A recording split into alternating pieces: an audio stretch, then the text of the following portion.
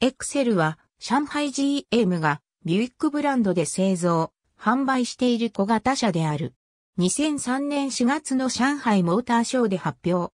GM ダイウが開発したシボレーオプトラのリバッチであり、外観上の相違点はエンブレムとグリル程度に止まった。当初はセダンのみがラインナップされ、後にワゴンとハッチバックも加わった。エンジンは磁気温1.6リットルと自家4 1.8リットルがラインナップされ、トランスミッションは5速 MT と4速 AT が用意された。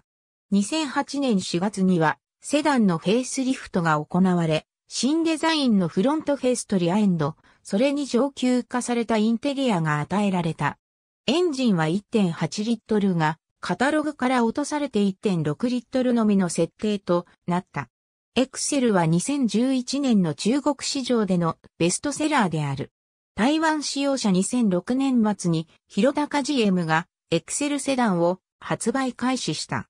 この台湾使用者は広高集団の経営 R&D センターにて開発が行われ、大幅な内外装の変更を受けている。しかしながら、販売は振るわなかったことから、上海 GM は、広高開発モデルを導入せずに、反秋車技術センターで、中国使用者の独自開発を決断したとされている。なお、広高 GM は2011年内に GM 車の在庫販売を終了し、全ディーラーを閉鎖している。2018年6月、発売を開始した。ありがとうございます。